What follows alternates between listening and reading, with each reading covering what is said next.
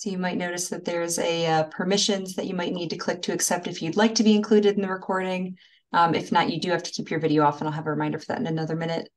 Um, but I'm just so delighted to uh, extend a warm welcome to each and every one of you that's joining the first anatomy tutoring session.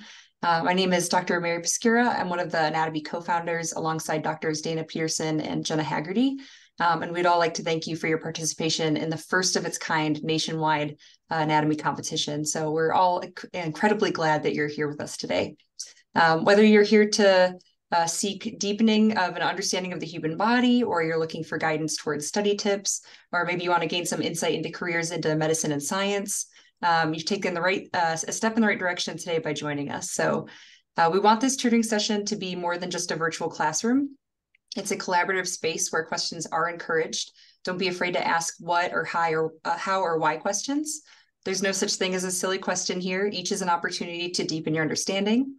Uh, additionally, asking questions is a good practice. It's a foundation of science to ask questions, and we'll hope that you'll gain comfortability in that throughout these sessions.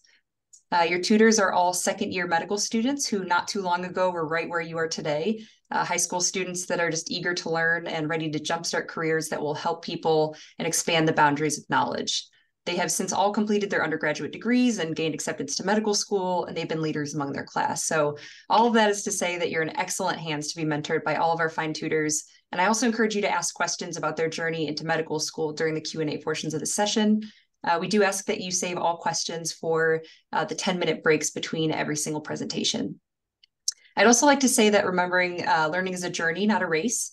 So each concept that you grasp, each new piece of knowledge that you acquire is a step forward. So with that determination, the effort, and the support of this learning community, you can conquer any of the challenges of anatomy and excel in your studies. So we're going to make the most of that opportunity. Let's embrace the wonders of the human body together and grow not only as students, but as individuals that are hungry for that knowledge and that understanding. Uh, today's agenda is going to cover introductions to Anato-Bee, histology, and embryology, the basic concepts of which are going to be applicable throughout your anatomical studies. Uh, the Zoom session is recorded again, so that will be shared with all registrants of the anatomy, and the clips may be included on our website or in advertisements. So if you would not like to participate in any of those publications, you must turn off your video for the duration of the Zoom. Uh, we do ask that you keep muted throughout the duration of the, the Zoom, uh, excluding for those Q&A sessions. Um, once again, welcome to this exciting journey through anatomy, embryology, and histology. And with that, I'd like to introduce and turn things over to Dr. Bill Frank, who is directing our tutor team. Hello, everyone. Dr. Peterson, did you have anything to add? I just wanted to say, just like Dr. Proskura, I am so excited that you're taking time to spend the evening with us and just really great to know that all of you have the same sort of passion that all of us as a little bit older and faculty or medical students do. So great to see you all. Thank you.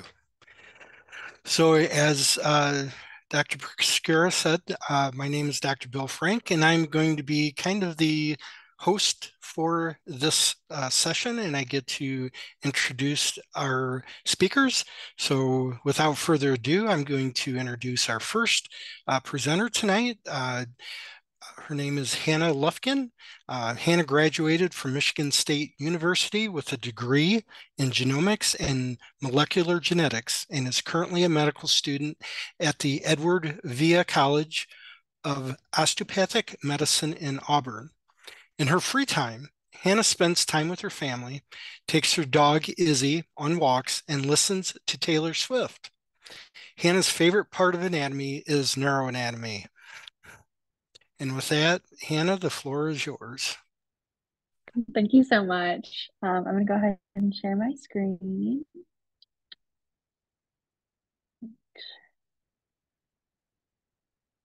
Okay. And then, okay. So I'm here to start off with the introduction to anatomy. Um, so let's go ahead and jump in. This is super exciting. Um, so here are my learning objectives. Um, I know you guys all have access to those, but they're just at the beginning of all the PowerPoints to help guide you. So first, um, I'd like to talk about all the organ systems we have in our body. I think that's like a great way to start because um, anatomy is a lot of what things are, but we also need to know like what their function is in our body. So the first organ system we have is one we can see, our skin.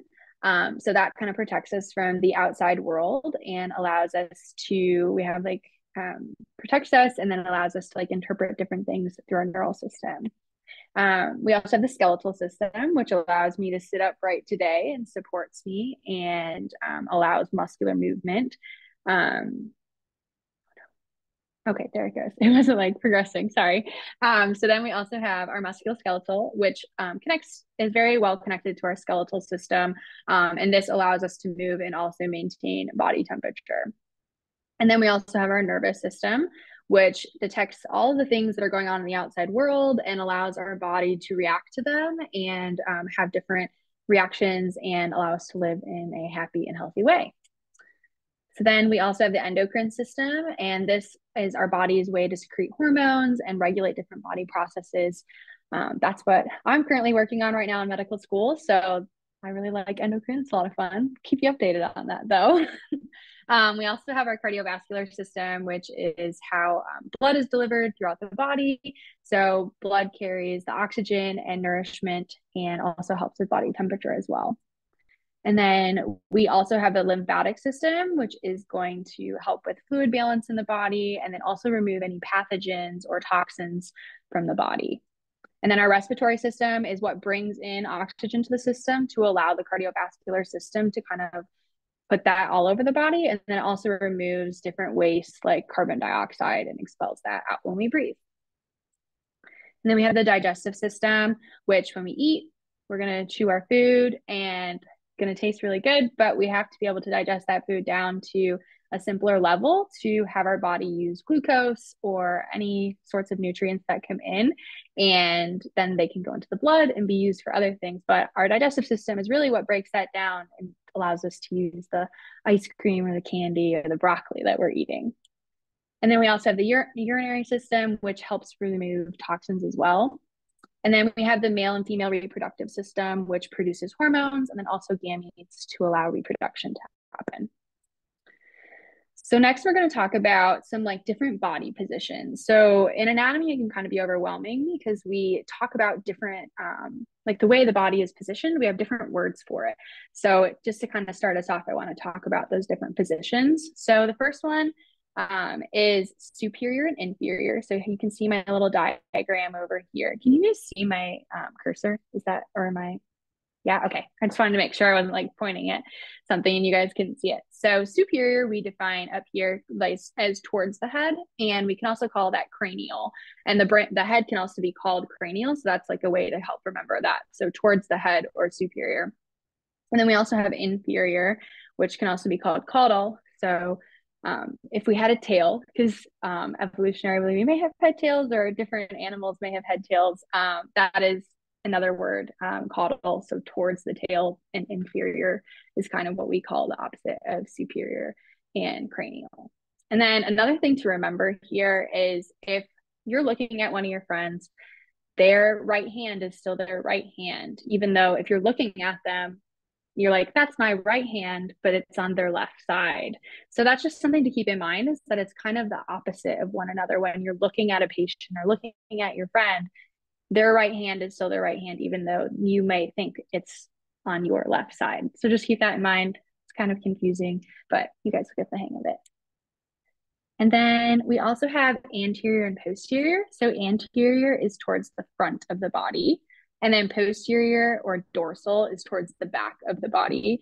And I kind of remember dorsal, like if I had a dorsal fin, like a dolphin, that helps me remember it, like posterior to the body.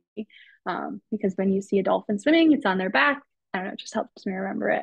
Um, and then anterior can also be called um, ventral, so towards the front of the body. And then we have lateral and medial. So medial, um, I kind of think of like midline, so towards the middle of the body and lateral is more out laterally towards my extremities or just more out to the side. And then we also have proximal and distal.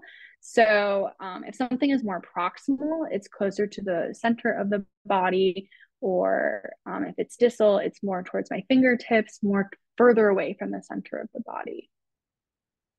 So then we have a couple different planes of the body, and this can be really important for how we look at the body and then also like in imaging as well this will come up and just kind of being able to describe the different planes of the body So the sagittal plane um, divides the body into the left and right side. And you can see the sagittal plane labeled right here. So it's kind of like going through her face right here.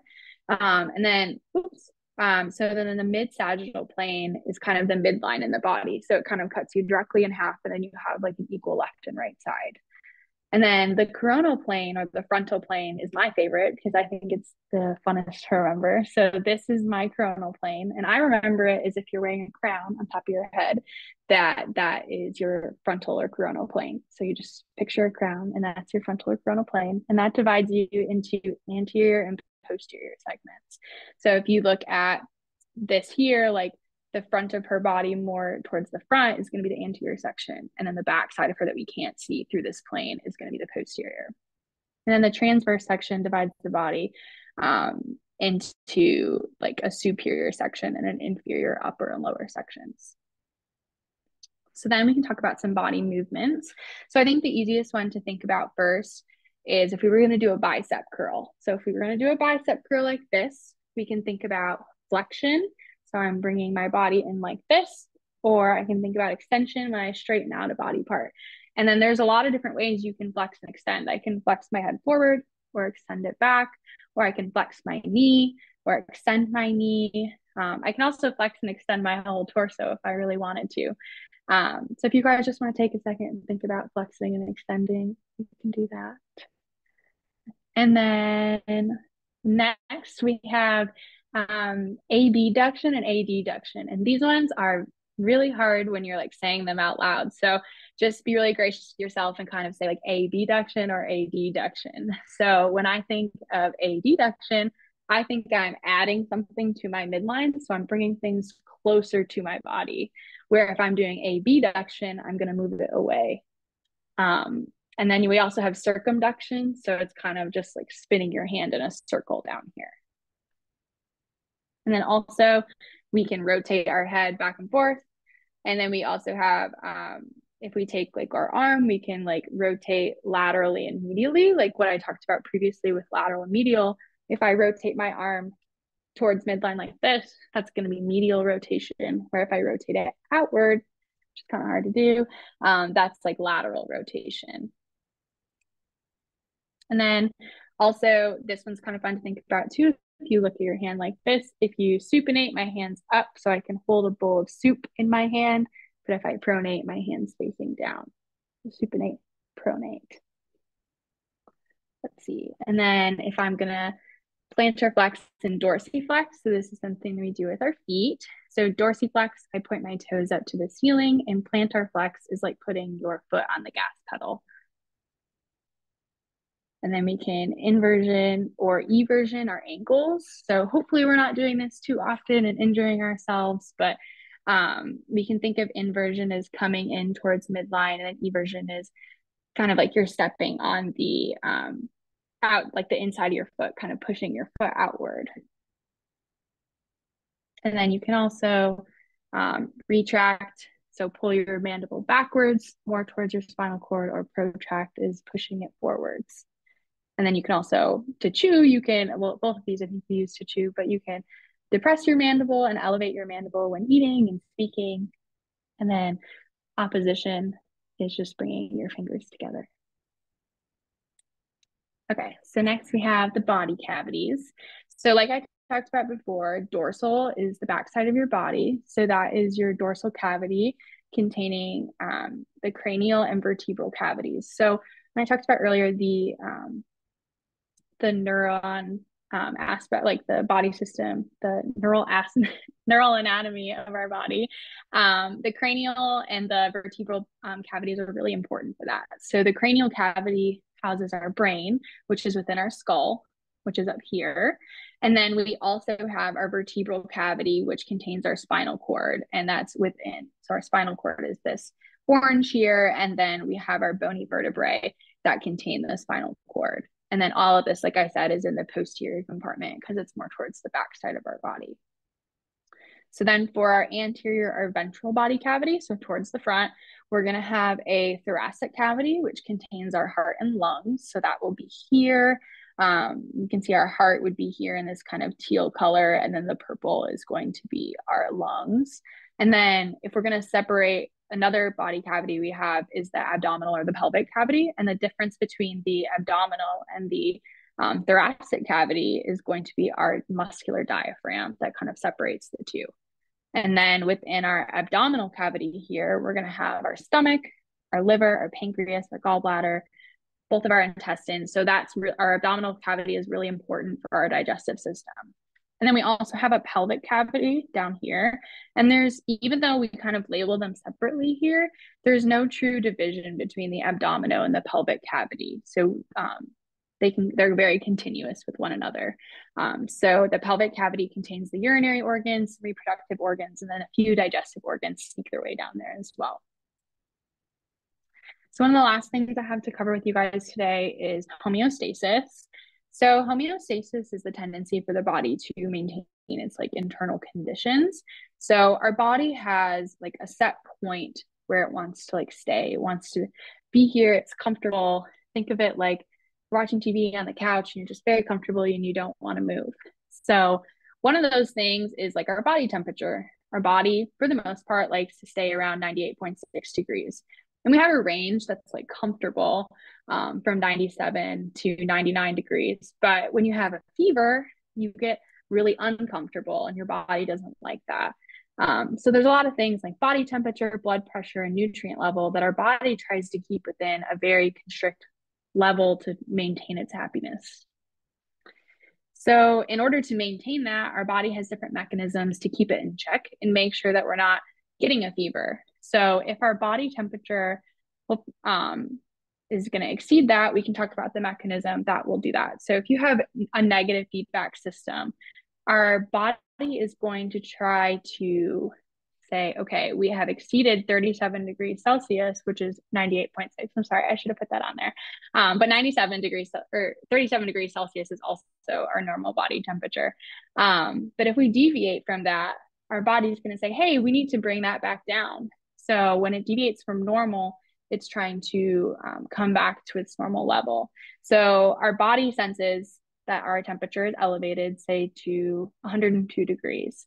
Um, and then our nerves and cells in our brain and skin are like, this is too high. I'm feeling uncomfortable. So then the temperature regulation um, center in our brain is going to take that interpretation from the neurons throughout our body and it's going to send a different nerve impulse to sweat glands to say, hey, let's lower our body temperature. So the sweat glands are able to bring our body temperature back down to normal. So that is our negative feedback system. And then there's also um, this thing called a positive feedback mechanism. So when your body shifts away from normal, sometimes it wants to go in that direction. Um, and this can really intensify the body changes that we're seeing. So, one of the ways that this can happen, this is actually something I'm learning right now. So, this is kind of fun.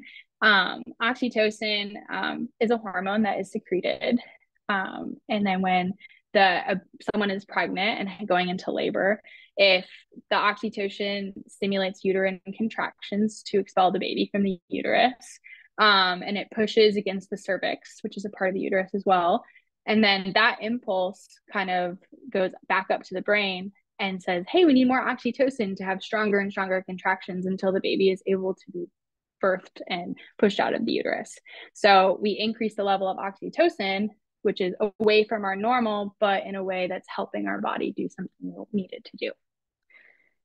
With that, I think that's all I have for you guys. I hope I didn't go too fast. um, but yeah, if you guys have any questions, please let me know.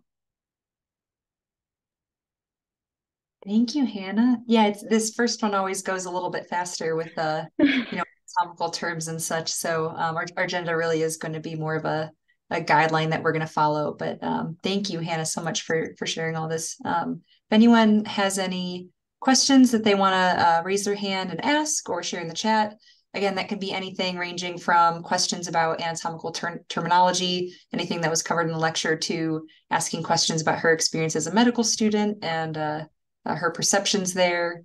Um, kind of anything that you guys you guys need. So, see one hand. Um, currently raised right now. I see Hillary. I see a hand. Yep. Go ahead, Hillary. You can unmute.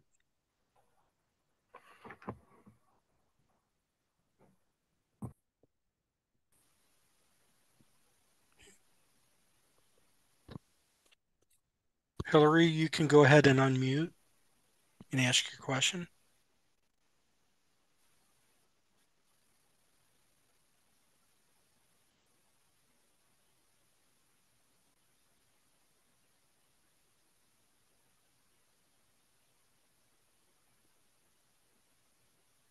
Well, I can read uh, some questions. Oh, Hillary? Uh, could you could you explain the body cavities uh, once again? Uh, Or you're you're muted again, Hannah. uh, All right. Okay. uh, it's it's fine. Okay. So let's go here. Let's go from current slide. So um, do you want me to go through the whole thing again? I can totally do that. I just want to make sure I get your answer. Uh, yes, please. Okay, no problem. So um, we have a dorsal body cavity. So that's like posterior, the posterior part of my body. And within that posterior body cavity, there is the cranial cavity. Oh, sorry, let me get rid of this chat here. Um, the cranial body cavity, which is up here. So that is houses the brain, um, different neurons, and then is in like in the brain is within the skull. Um, and then we have the vertebral body cavity, which is over here, and that has the spinal cord and the different um, bony vertebrae as well. So the vertebrae and the skull are protecting the um, brain and the spinal cord. Does that make sense? Okay. So then the next one, we have uh, the anterior body cavity, so towards the front, and we have the thoracic cavity, which is um, going to have your lungs and your heart, and that's separated from your abdominal cavity by your diaphragm. Um, and then in your diaphragm, you've got all sorts of digestive organs um, and accessory digestive organs that kind of just help with the process. Um, and then you have your pelvic cavity, which there really isn't a huge difference or there isn't like a distinct border between the pelvic cavity and the abdominal cavity. Um, but the pelvic cavity has more like urinary organs and reproductive organs, and then some digestive organs slip in there too. Um, but the abdominal cavity will have mostly um, digestive organs, and then the thoracic cavity is the heart and lungs. Okay, thank you. Um, We have a question from Annika. If your if our normal body temperature is approximately 98.6 degrees, why do we feel hot when that's the temperature outside? that's a good question. Um, So Hannah, I might be able to help you. in yeah. um, if there's anything to add. So again, Annika, that's a really awesome question. And the 98.6 is our internal core body temperature, where when we get to the extremities, and especially the surface of the skin covering the extremities, we're actually rerouting blood um, away from the skin and back towards the core to maintain that core body temperature at 98.6.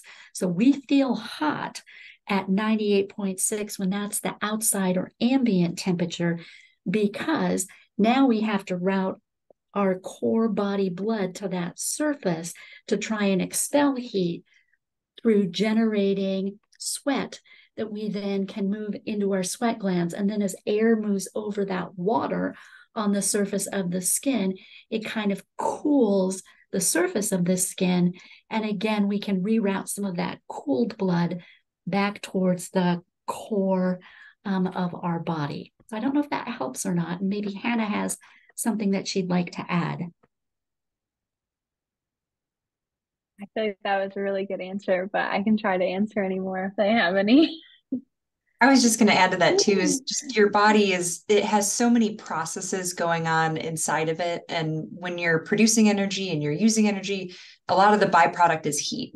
And so when you're creating all this heat all that's happening and you're maintaining that optimal temperature very optimally when the temperature I mean I feel great when it's about 60 70 you know start getting a little hot at 80 degrees and so it becomes harder for you to feel good about releasing that heat and maintaining that temperature when it gets even hotter out. So imagine if that's what you're able to maintain at about 70 degrees, then when it gets really hot out, it's just harder for you to maintain it, you know, that I guess low. It's a good way to put it. Next question from Lillian. Can you go over the differences between inversion and eversion again? Yeah, let me go back to that slide really quick. Great question. Yes. So inversion and eversion. Um, let's think of my hand like a foot. Um, so this would be my big toe, and this would be my pinky toe.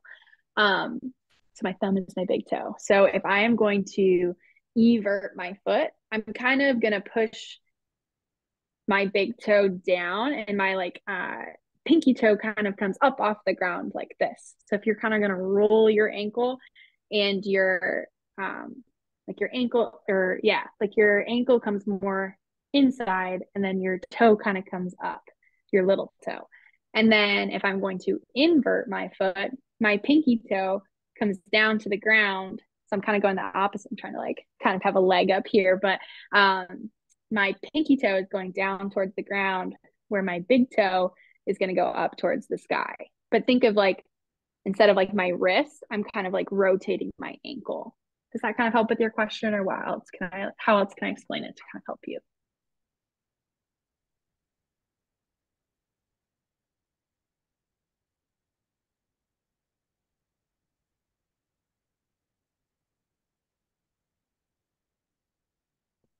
Okay, um, Hannah, uh, this this question you are the expert. Uh, a lot of people say med school is harder than many others. Is that true? I think I'll, I can't speak to other professional schools. I can really only speak to medical school. Um, I think no matter what, everything's going to come with its challenges. I think like the biggest thing we face in medical school is kind of time management the content um, you know we learn this exact same stuff in medical school. We learn you know a little bit more here and there but a lot of it's just the amount of information that's thrown at us. So i think it's difficult but i think it's very manageable. And with uh, you know the first we ha- we kind of have a block system. The first block was a lot of adapting but our body as we've learned today are experts at adapting. So i think even though it's really hard and challenging, it's really worth it and very rewarding. So I'm very excited about the path that I'm on and happy to share any other details. Another question is positive feedback seen more as a as bad response in the human body? So I don't think Go ahead. Go ahead. Okay. okay. I don't think it's always a bad thing. Like oxytocin is really important for labor. However, it's not very common. It's something I should have said. Negative feedback happens very often to kind of keep our body in check. Um, but positive feedback, there aren't very many positive feedback systems um, that the body has. I can think of oxytocin. I know there's a couple more, but I just can't think of them off the top of my head. Um, so I don't think it's necessarily a bad thing. I think if you're supposed to be having a negative feedback system and it becomes say you have some sort of tumor that is creating a positive feedback system that wouldn't be a good thing. But that's more a pathology than like a normal um, anatomical thing that we're having. And i might throw in my two cents worth if you're okay with that hannah to say that negative feedback always returns that body system back to that well defined range of values that we call homeostasis. And positive feedback always takes us away from that. So there has to be an event at some point in time where that positive feedback process is halted, or that can lead to substantial injury, trauma, or even death. So in the case of the, the example that Hannah provided, the event that brings that positive feedback to closure is the actual delivery of the baby to the outside world. So I would envision or think of positive feedback is taking a body system away from homeostasis. And as long as there is an, a terminating event that then restores homeostasis, it's all good. But if there's no terminating event, that can lead to substantial damage in the body. Okay. Um, uh, Zarek, if I mispronounced your name, I apologize. But asked, can you go over all of the organ systems again quickly? Yes. Let's go back. Whoops. Okay. So the first one we have is the skin. And the skin is kind of what we can see. It kind of create like helps with our like protecting us from the outside world. Um, without our skin, we would be exposed to all the elements. Would not be good. Helps um, with heat protection, all that stuff. We have our skeletal system. So that's all of our bones within our body. It allows me to sit up straight and it works very closely with our musculoskeletal system which allows our body to move, but we need our bones to kind of hold us up. And then our muscles kind of pull on our bones to allow us to flex, extend, and do all the movements we need to do. And then we have our nervous system, which takes in everything we have from the outside world and detects things on the inside and allows our body to respond. So, say I'm like, my hand is over a hot stove and I'm like, oh, that's hot. I didn't know. My body is sensing that from the outside and using our skeletal system to move my hand away. And then we have our endocrine system. So that's kind of like oxytocin, so like hormones. Um, it kind of allows our hormones to be produced and then kind of regulates different body processes that we have.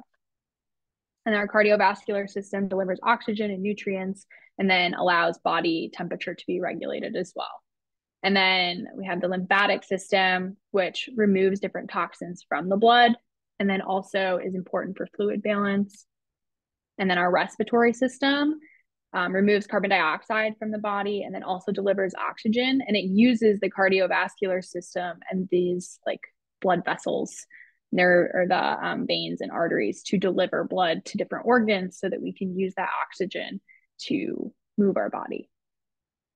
And then we have our digestive system. So if you're gonna go home and eat a hamburger tonight you got to chew that up and digest it so that we can use the different um, the different uh, micronutrients that are within that hamburger to fuel our body, to fuel our muscles, to fuel our brains, to learn all this fun anatomy. And then we have the urinary system, which will remove um, water or different um, waste that we have. And then the male and female reproductive system just produce sex hormones and then gametes and allow for reproduction to occur. One thing that I'll just add to all of that um, is that uh, you'll have individual lectures also for these uh, systems that you have. So this is more just to introduce you to the very basic functions that they have. So if you still have further questions about those, um, we're more than willing to answer them at any time, but you'll also get some extra dedicated time to learn more about what each of these systems entails. Um, Dana asks, can we go over the body movements again? Uh, she missed a few there's a lot of them and they're kind of there can it can be kind of confusing because um like like I said with flexion and a lot of these can happen in different with different limbs or different areas so it can be kind of confusing. So we have if we're gonna flex our biceps we're bringing it like this and extend I'm straightened out. So flexing is when I'm gonna shorten a muscle and extending well this muscle in particular I should say flexing and then I'm extending out my arm like this. But like I said you can flex your knee and you can extend your knee. You can flex your head forward and extend your head back. And then you can also flex and extend your entire trunk if you or your upper body if you'd like, kind of like in this picture. And then um, this one is the hardest for me, and sometimes I really have to think about it still. Um, so adduction is I'm adding it to my midline, so I'm bringing it closer this way, like towards my because this would be his midline here. We're bringing it closer to midline. And then abduction, I'm moving away from midline. So I'm kind of like bringing my arm up like this. And then circumduction is just when I bring my hand in a circle, like my arm in a circle like this. Kind of like, I think like in gym class when we were kids, we do like the little arm circles, kind of like that. And then we have like rotation of the head. So you can shake your head.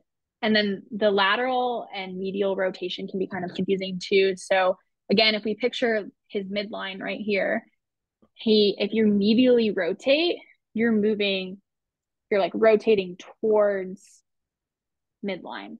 But if you're laterally rotating, you're moving your body or you're moving the extremity away from, you're rotating it away from midline, if that makes sense. So you're kind of rotating a circle towards midline and then away from midline, if that makes sense. And then pronation and supination um, happens in the arm. So if I'm supinated, my hand is up like this, and I can kind of hold a bowl of soup if I want. wanted. That's how I think about it. And then if I pronate, I rotate my radius over my ulna, which you guys will get into all that later. But the motion is like this. And then supination is like this. Hannah, can I just interject? There's a question about pronation of the foot, and um, Dr. Peterson answered it a bit in the text, but maybe she could jump on and, and tell what the difference between pronation of the forearm and hand versus the foot is. Sorry, Dr. Peterson, for putting you on the spot. totally okay. So I used to be, I used to teach little uh, little kids how to swim. And I think you all might remember when you first learned to float with your face down, they said, we're going to, we're going to float on our bellies and that's prone position. So if you're face down, you are in the prone position. If you're lying on your back, staring up at the ceiling at night, you're in the supine position. So then we consider the surfaces of our hands and our feet kind of in the same way. So the palmar surface of our hands, when we rotate those downward as if we're floating in the swimming pool, that's the prone position, and rotating them upwards, like Hannah said, holding a, a bowl of soup, that's the supine position. So maybe that, if you imagine or visualize that, maybe that would be helpful.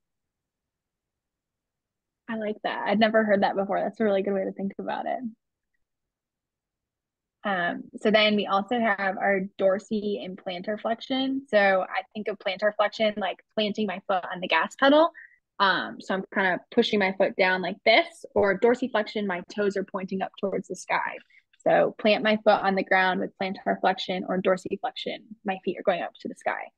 And then you can also think about dorsiflexion like this being like the back of your foot, like dorsiflexion, like the dorsal part of your body as well.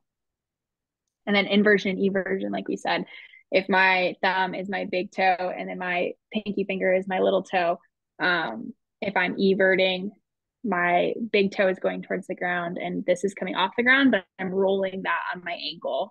And then inversion is the the foot is coming towards midline. So then my big toe is going up towards the sky and my little toe is going on the ground. And then you can protract your jaw. So kind of like if you um, like push your jaw out or retract your jaw. And then you can also elevate and depress your jaw as well. Kind of all these things happen with like chewing and talking. And then opposition is bringing your fingers together like this.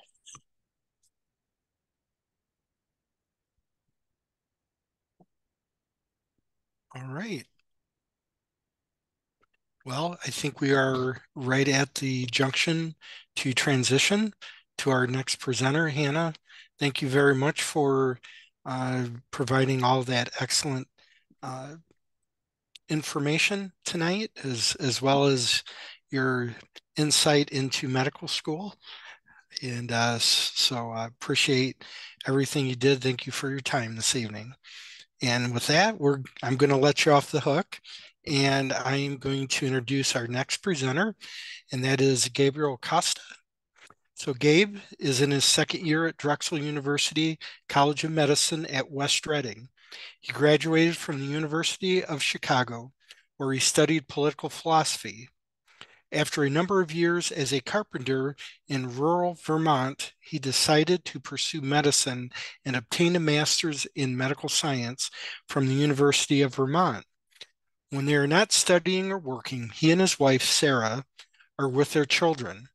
Currently, their five year old daughter wants to be a ballerina trash picker upper, and their eight year old son wants to be a subsistent farmer guitar maker. Gabe, Gabe loves the three dimensional nature of anatomy and is in awe of the embryological development. And so with that, I'm going to give the floor to Gabe Costa. Thank you, Dr. Frank. Um, let's try to share my screen here and let me know if this works out just fine. Um, start broadcast.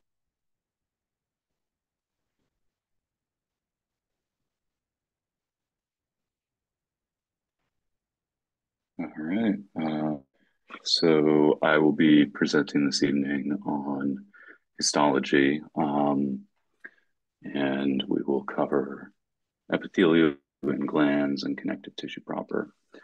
So um, histology is kind of the observation of microscopic anatomy through the use of specially prepared uh, tissue specimens. And when we look at the kinds of tissue that are out there, we think of kind of four different sorts. And so where Hannah took us on a very big overview picture, I'm going to take us down to the microscopic level. Um, so there's nervous tissue, there's muscle tissue, and then we'll focus on epithelial tissue, um, and we'll look at a couple forms of connective tissue, connective tissue proper, and then um, blood, which is a fluid uh, connective tissue. So these are the learning objectives I think that are for out out there for all of you guys um, online. Um, so we'll just go over the um, what epithelium is, um, and we'll talk a little bit about glands and the basement membrane that sits underneath epithelium. So epithelium consists of one or more layers of cells that line the interior and exterior surfaces of the body. So think of like your, your skin or what kind of goes inside of the gut tube. Um, and has diverse functions depending on where it is in the body. Um, so for example, epithelial can secrete hormones from glands and absorbs nutrients in the gastrointestinal tract. The naming of individual cells can vary depending on the location of the tissue, but for our purposes, the general principles of the structure and function are shared. Um, so we'll talk just a quick note on orientation when we're looking at these. Um, we're going to look at some slides in a couple in a minute or so here. When we're talking about height, we're talking about the space from the lumen or the opening of the space, or in the case of skin, the kind of the outside world. Um, and then the width of the cell is then the space between it and its neighbor. So can you see my cursor on the screen here? Yep, okay. Um, and um, so the superficial surface or the is going to be the surface up here. The basement membrane is this purplish line underneath, and we'll try to see what we can in the slides coming up. Um, so when we talk about up, it's up to the surface, down, down to the basement. Um, so we by epithelial tissue based on the shape of the cell in the uppermost layer. And there are three basic cell shapes that we encounter. Um, so we have simple squamous, um, or we have squamous epithelial tissue here with these wide cells um, that are wider than they are tall. We have cuboidal, which, um, as the word implies, cube, um, have this kind of squarish or cube-like shape. The nuclei of the cell, which is what this dark brown blob is in the middle, sit more or less in the center. And then we have columnar, which also, like the name says, are these columns that sit next to each other. The in general, the um, nuclei of columnar cells tend to be in the bottom third-ish of these cells. Um, and then when we look at various kinds of epithelial tissue, we think of it as simple, which means there's a single layer. So here's simple squamous, simple cuboidal, um, simple columnar, and then stratified, meaning there are layers and layers of epithelial cells on top of each other before you get down to the basement membrane, which again is this kind of purplish line here. So we have stratified squamous, um, which we can see here. And these are defined, we name them by the type of cell that is on the surface. So here it's stratified squamous because it's squamous cells at the surface. Um, stratified cuboidal, cuboidals at the surface, stratified columnar, columnar um, cells at the surface. There are two types in here. Um, pseudo-stratified is sort of, it looks like it's stratified and it's harder to see in this image. We'll get a nice um, slide presentation or a, um, a nice uh, image from uh, the microscopy in a moment on this, where it is it appears as though it's stacked on top of each other, but in fact, every single cell makes it down to the basement membrane. So therefore, the pseudo component, and then transitional epithelium we'll talk about in a couple of slides. So let's start by talking about the basement membrane. Um, it's this layer that binds epithelium to the underlying connective tissue. Um, and it's kind of gel-like. It anchors the epithelial cells um, at their basement and is this meshwork um, that allows some kinds of chemicals to make it their way through and others not for some substances. Um, and it is kind of, it sits between um, the blood supply of that's in the connective tissue and whereas the epithelial tissue itself has no blood supply. So there's no inside of it. So there, there aren't any um, capillaries running inside of epithelial tissue itself. And that's one of the defining features of it. Um, and it is physical barrier. So when we think of something within kind of a tumor associated it that those cells have to make their way through, but they can spread regionally or around where is, and then maybe eventually make it into the bloodstream or lymphatic system and spread to other areas of the body. Um, and it's comprised of these molecules that can trap water like glycoproteins, and it has this um, special type of scaffolding um, collagen that will be covered um, a little bit in here, and then I think a little bit more in future. So here are some examples of simple epithelium. Um, so remember that this is a single layer. Um, and the, the cartoon here gives us a nice sense of where you can see that they match up. So this line of simple cuboidal cells where they kind of look like little cubes with the um, nuclei in the center of them, more or less see them lining around here where my cursor is. Same goes around here.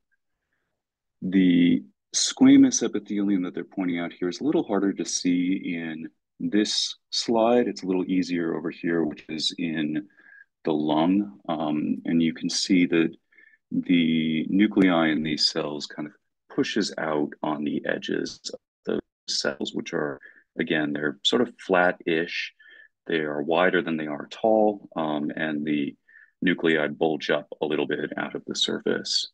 Um, you can see that, so simple squamous here is the same thing as being called type 1 pneumocytes, but again, that sort of varies on tissue on what, um, so cells in various tissues will have individual names, but here we're talking about simple squamous and it is the same thing. Um, same goes here. So type 2 pneumocytes as labeled are simple cuboidal cells. Um, so you can see cuboidal here. I think this is a little harder to see over here. So this is kind of a nicer view of those simple squamous. And then finally, we have simple columnar. And again, the cartoon gives us a clearer view of what those look like, but it can give us a reference point to then look on the slide and say, well, these are cells that line up nicely um, in columns. If we look along the kind of the more superficial side, you'll see that it stains lighter. It's a little lighter pink. Um, whereas down towards the basement membrane, it stains darker. And that darker staining there is where the nuclei are. And you can, in some cases, it's a little clearer to see that there's kind of a blob um, darker blob, which comprises the nucleus. Um, and I just want to make a side note here. You'll see over, here's one, there's another one right here.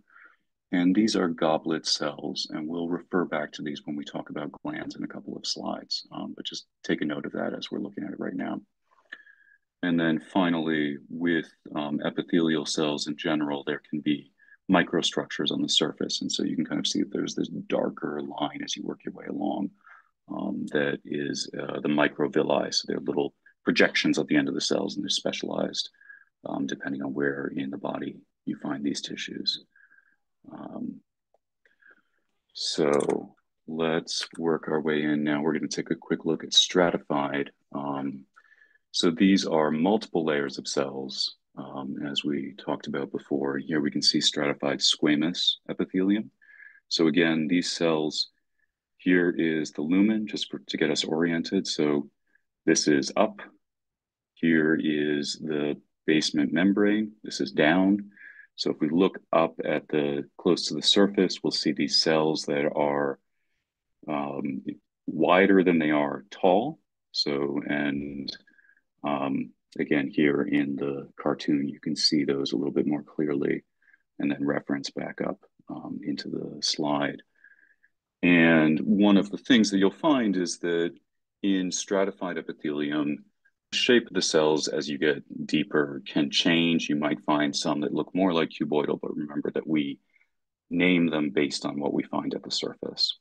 Um, here is an example of stratified cuboidal epithelium, um, and these are ducts, um, glandular ducts. I think this is in a sweat gland. And again, using the cartoon as kind of a basis, we can see that there are these multiple layers, in this case, two of cuboidal cells. So we take our reference up here and we can kind of see these cells stacked on top of each other. Here again, they're stacked on top of each other, multiple layers, and that's our, our um, stratified cuboidal. And then there are not that many places in the body that you find um, stratified columnar. Here is an example from the urethra. Um, and these are tough to see, um, but you're seeing stacked columnar cells, one on top of the other um, there. Let's take a quick look now at those pseudostratified. So we talked about these where they look as though they're stacked. So if you look on this line here, it appears to be layers of cells stacked on top of each other. If we were to zoom in a bit more, you could see that all of those cells that make it all the way up to the surface and have those little projections on the um, on the surface. This is from the um, let me see. This one should be, I believe, the um,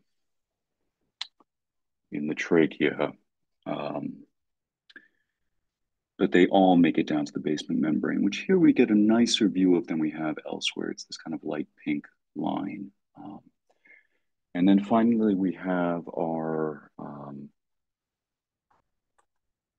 let's see, this is our transitional epithelium.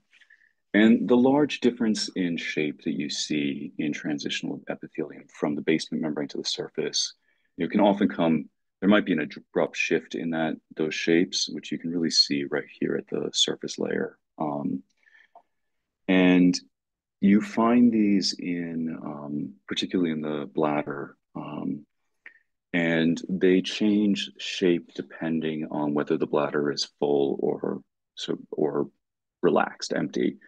So when it's stretched out, you can think of it kind of that they start to elongate and thin out when they come together, they'll kind of bunch up.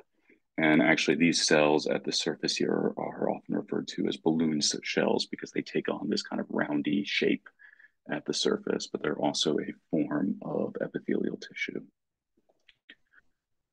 And the last part of our epithelial discussion will cover, um, we'll just do a quick comparison of a couple kinds of glands.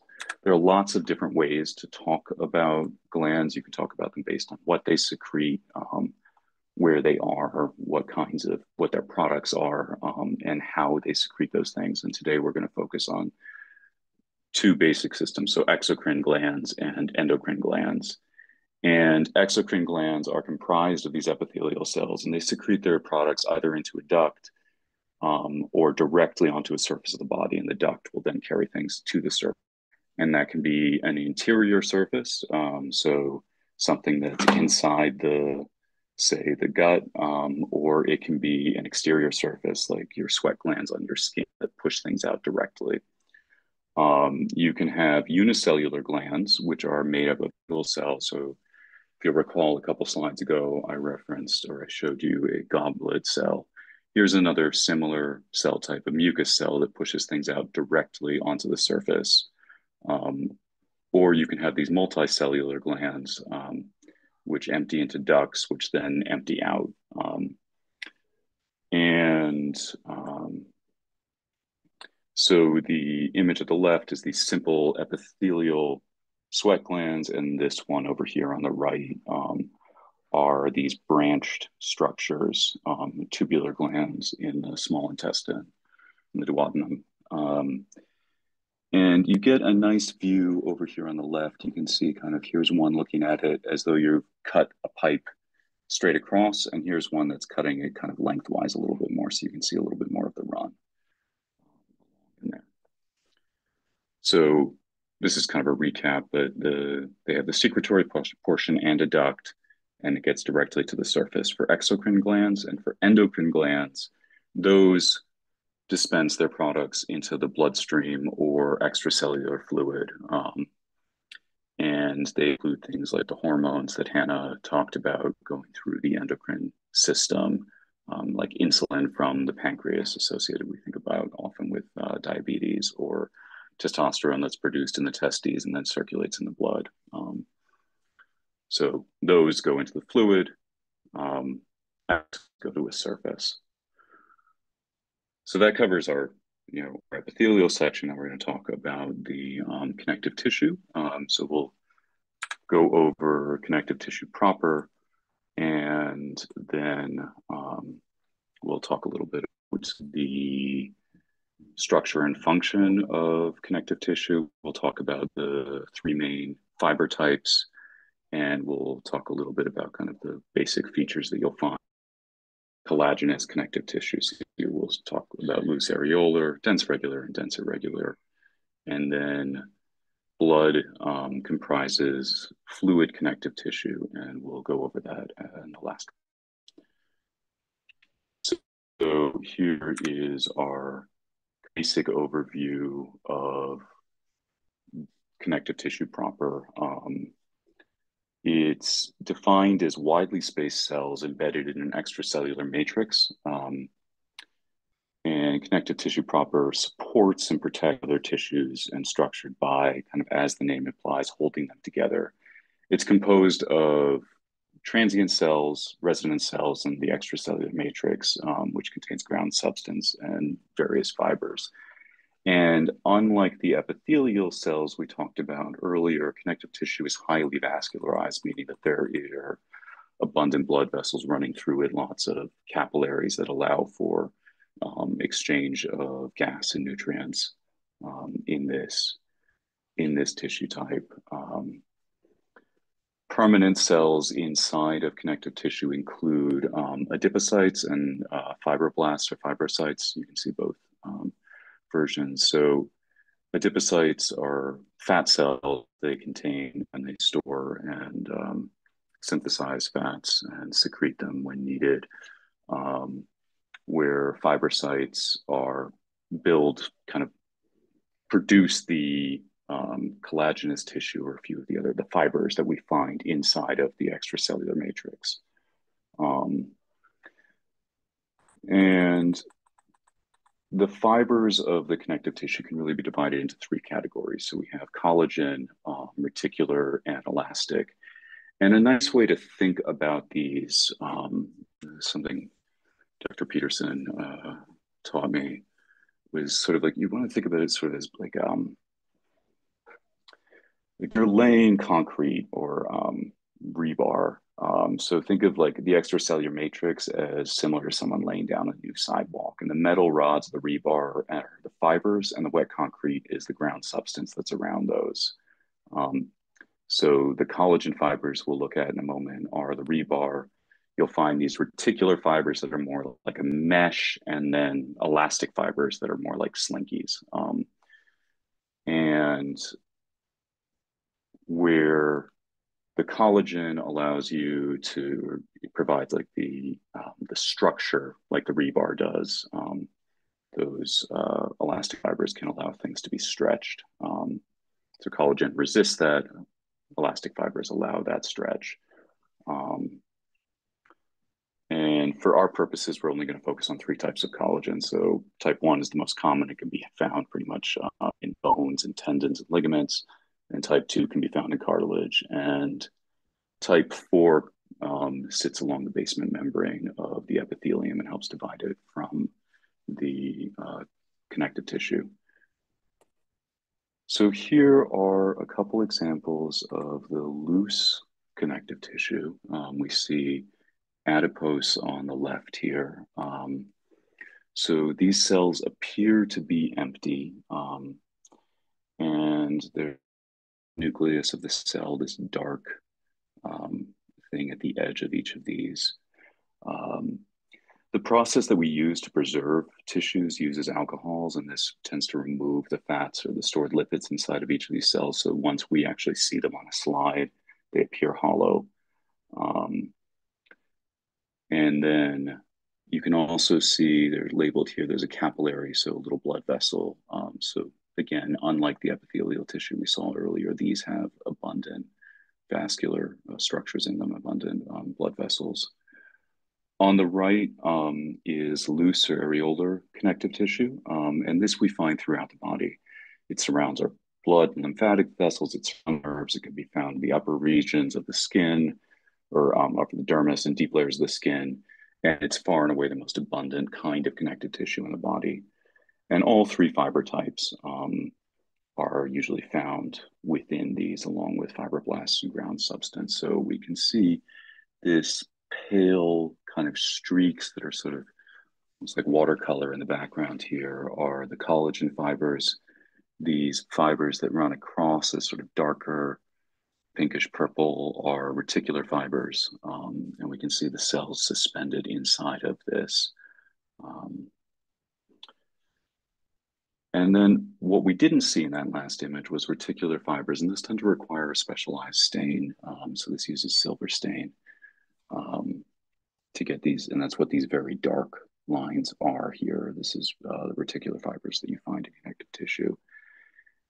And they're very fine, thin ones. They just don't tend to show up in the other stains that we use. Um, dense connective tissue comes in two kinds. So we have our regular and irregular. And I like this one because it's it's kind of easy to remember. Regular looks pretty uniform. It's kind of, it all travels in the same direction. Um, these are collagen fibers. They all are in parallel to one another. Um, we can see the fibroblasts or the fiber making cells kind of tucked in between. Um, has this nice wavy pattern. Irregular, um, instead of all running parallel to each other, um, it's found in deeper regions of the skin um, and kind of the capsules that encase some organs. It's most, again, mostly type 1 collagen, and they're not in parallel, but they have lots of different orientations. So here we have um, an epithelial cell layer, the basement membrane underneath, and then this collagen going in lots and lots of different directions on the nice, or the kind of like wavy fibers all traveling together. Um, and this is this kind of the dense stuff is what you would find in things like ligaments and tendons. Um, and there's a note that's kind of a heads up for what you guys are coming up to in, a, I think, a month or so um, when you talk about muscle, which is that dense regular connective tissue looks very, very similar on these stains to smooth muscle. And I just wanted to give you a couple of ways to start thinking about how to distinguish the two of them if you come up against these two compared to each other. So um, here, again, we have that sort of wavy pattern of the dense connective tissue.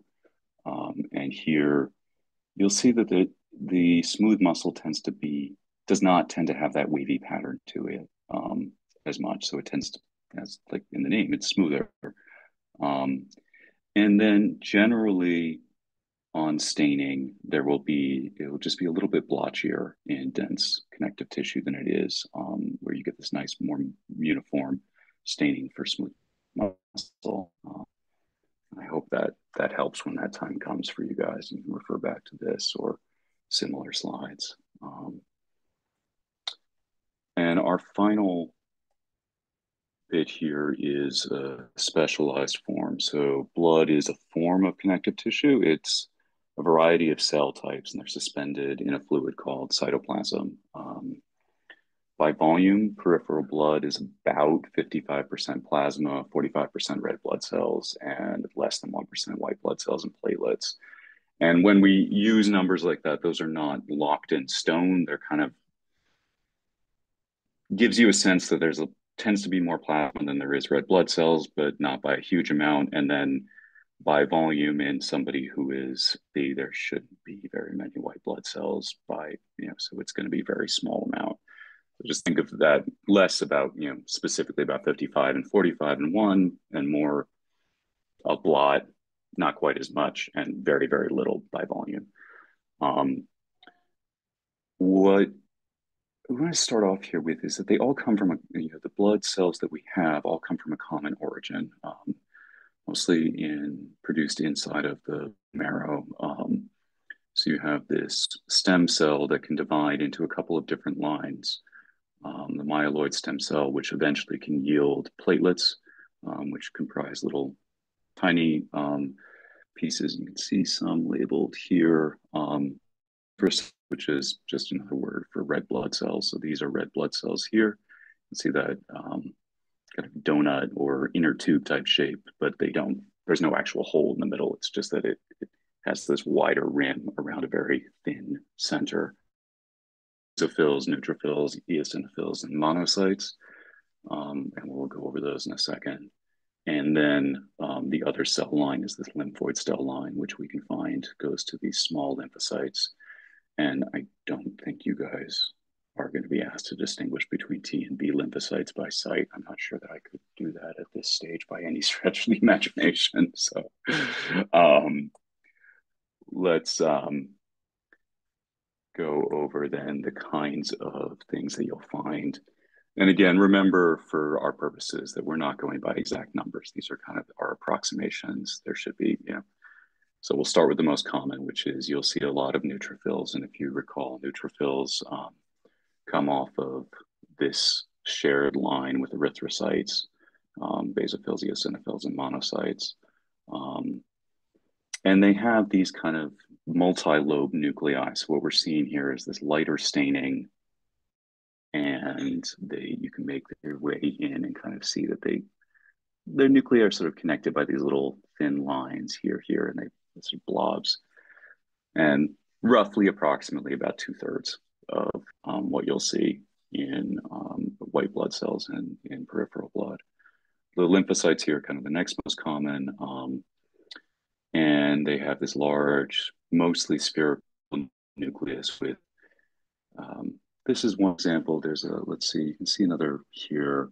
You kind of get that halo of the cytoplasm of the cell. So the nucleus kind of has the center there, and then monocytes. Um, there, you know, so if there are a lot of neutrophils, a fair number of lymphocytes, there are not all that many monocytes um, by volume or number, um, and they tend to have a horseshoe or kidney-shaped nucleus um, that has this kind of bend to it. Eosinophils um, are pretty rare. They're also multi-lobe, but staining. Um, so these bilobe nucleus with um, or multi-lobe nucleus with bright red and orange dots in the dots. And finally, basophils, which rarely see, um, and they have these dark green. In this image, you can see the nuclei. Most of the times, it's really hard. Gives you a better sense of what you may encounter if you do which is that it tends to be sort of washed out by it's hard to tell what's nucleus, what's granules in the cell. Um, and I think that wraps things up on my end. I know that a lot of information in a short period of time, um, which to uh, Hannah's point, or at least the experience of med school, but if you have questions and just take time, I think it can be very helpful. So there's some references. Gabe, before you uh, pop off the, uh, go back to the last slide, can you go over the mnemonic at the top? Oh, yes. Sorry. Never let monkeys eat bananas. Um, is things in not just to remember the um, these cells, but also in descending order of how frequently you'll find never, neutrophils, lymphocytes, let, monkeys, eosinophils, bananas, which are the rarest of all, your basophils. And uh, mnemonics like that are gold when you're trying to remember large volume. So. So while all of you are thinking about questions that you want to ask Gabe, um, I just wanted, because we're recording this, um, I thought it might be helpful. Um, just a slight, I think, um, uh, I think Gabe just misspoke right on the very first slide. And everybody does this because you get a little nervous the first time you're you're doing this. Just wanted to make sure all of you understood that when we talk about um, blood, that in fact that fluid is called blood plasma.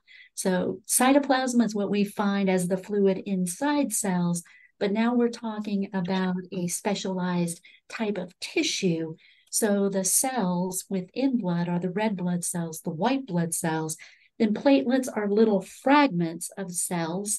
And then what they float in, that fluid is called plasma. So now it's on the recording. Everybody understands, and we can just move on to your questions. Thank you, Dr. Peterson. Um, question from William. Can you repeat the lecture objectives of this part so I know what to remember? The or both of them. Um, he did not say, but I'm assuming the Okay. second section. But All you these go through um, both. on our um on our website under the lecture objectives uh panel in case you guys lose any of those but that's exactly where these come from. So if you happen to to miss them at any point um they just come right from the lecture objectives on our website.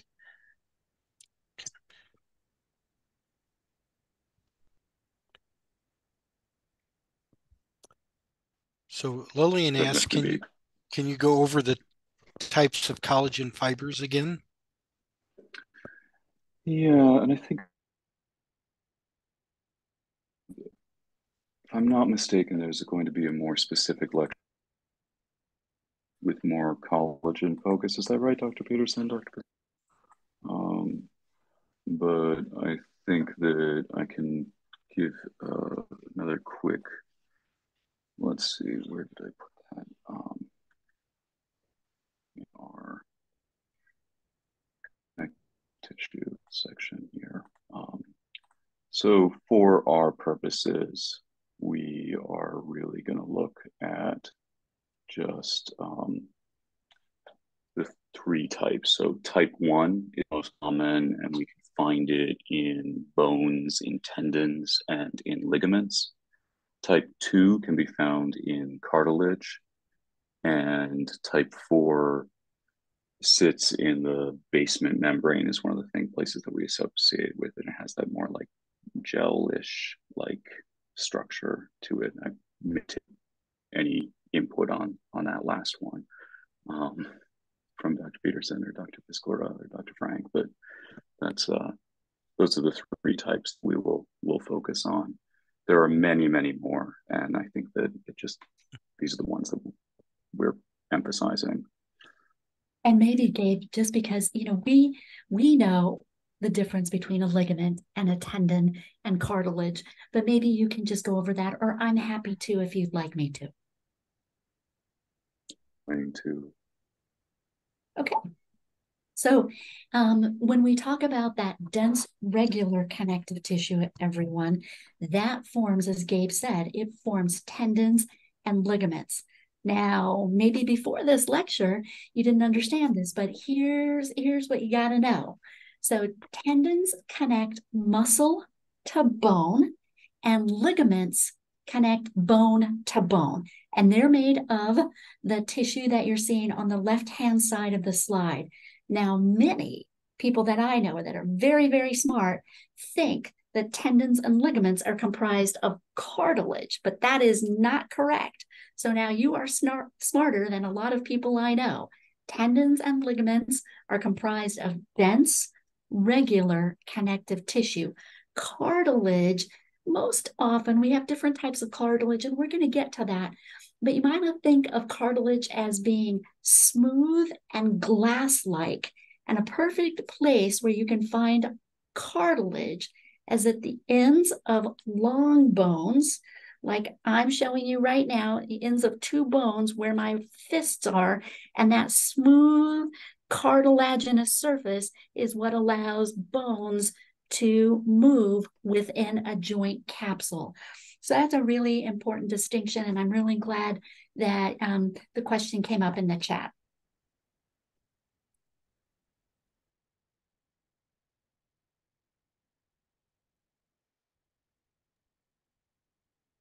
Okay. Any other questions?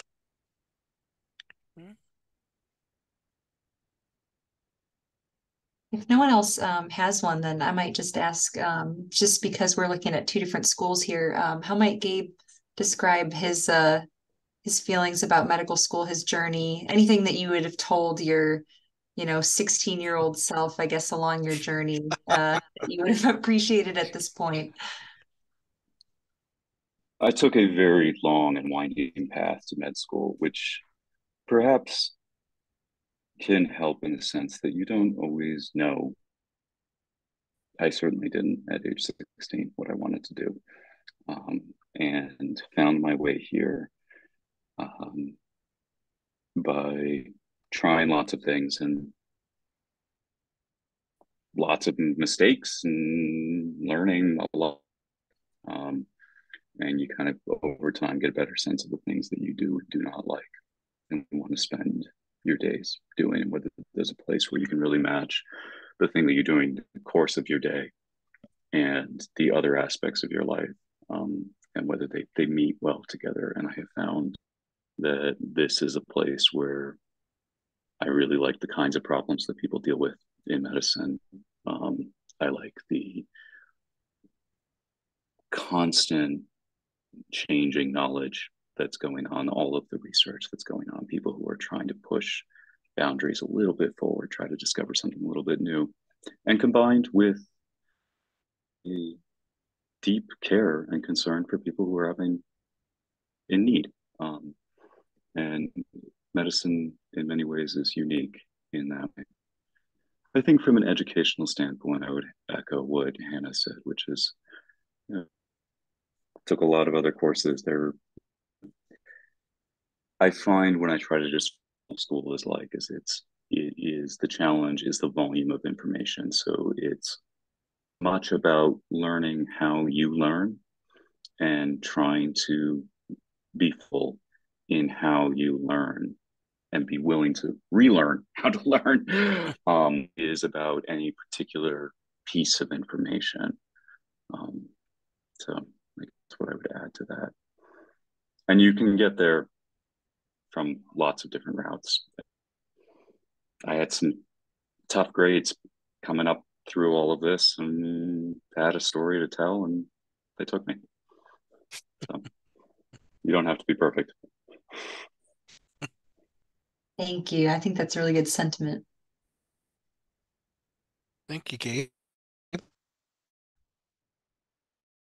And I don't see more questions for Gabe, so if it's okay, we'll move on to our third presenter. Excellent work, Gabe, as with Hannah. So uh, Kate has a has a uh,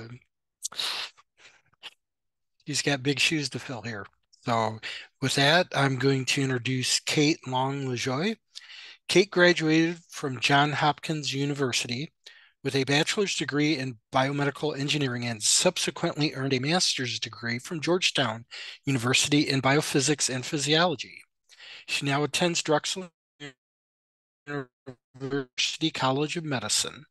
When not studying, Kate loves to travel the world with her husband Mike, always returning home to her rambunctious pup Lily.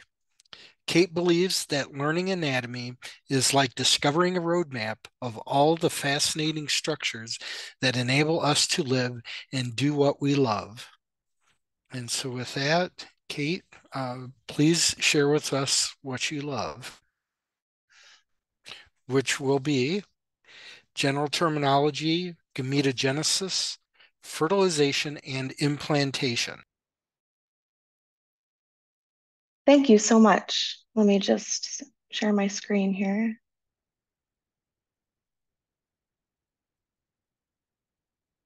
Uh-oh, okay.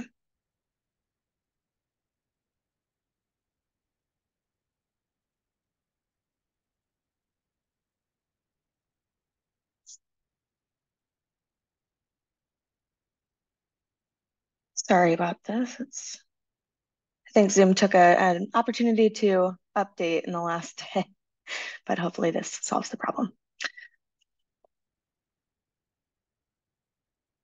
Okay, can everyone see the PowerPoint? Great, thank you.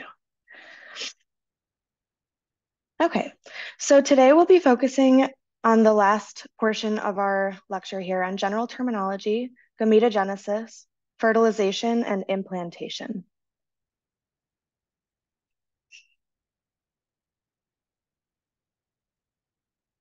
Okay, so the lecture objectives, just so we know what to focus on, are to distinguish the difference between embryonic fetal age and gestational age, define the term teratogen, identify several examples and discuss the effects of each, describe the process of spermatogenesis, explain the process of oogenesis, and describe the pre-implantation development of the embryo from zygote to blastocyst. So we got our work cut out for us. Okay, so the first thing I want to talk about is the difference between embryonic or fetal age and gestational age. So embryonic or fetal age is the age beginning at fertilization when the sperm meets the egg, whereas gestational age is calculated from the first day of the last menstrual period.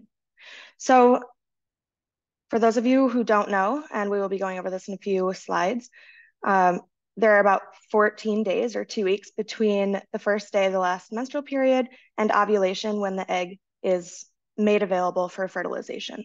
So the way I remember this um, is embryonic and fetal age. In the name, you kind of have an embryo or a fetus. So I think of this as the age from the embryo's perspective. They don't care what happened before they were fertilized, they didn't exist. Once they're fertilized, that's where they're um, their process begins. So I think of embryonic fetal age from the egg's perspective.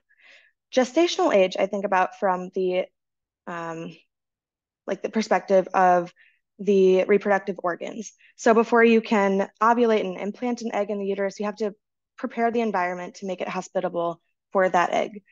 Um, that process includes the two weeks before fertilization, and again is calculated from the first day of the last menstrual period. So you can see in the developmental chart that there are three stages listed.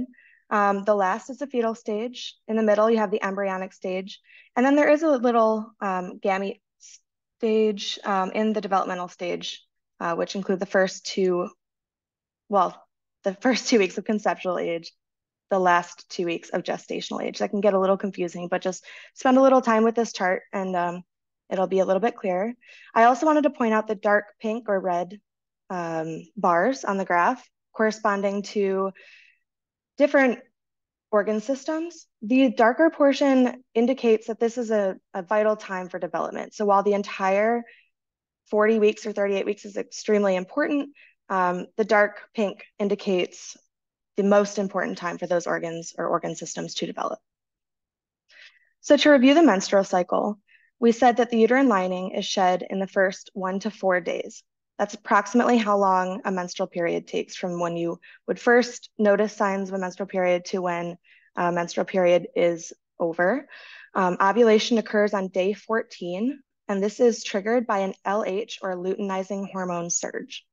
And we will talk about that a little bit more in a moment.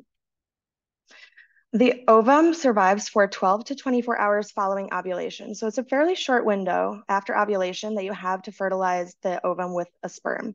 Um, an ovum is just a more technically correct term for, for the egg. So that's the female gamete. Before we delve into the menstrual cycle and the process of generating those eggs, um, let's talk a little bit about teratogens. So I want to define a teratogen first which is any substance that interferes with the normal development and causes or increases the risk of causing congenital disabilities following exposure. So here's a little chart again, showing you that the dark blue is the time of greatest vulnerability, um, which you can imagine would correspond to the time of greatest development um, for each of these different organ systems. Okay, so I just want you to take a moment and think of any examples. Think of anything that you have heard um, you're not supposed to do while pregnant or any exposures that you think would not be good for a developing fetus.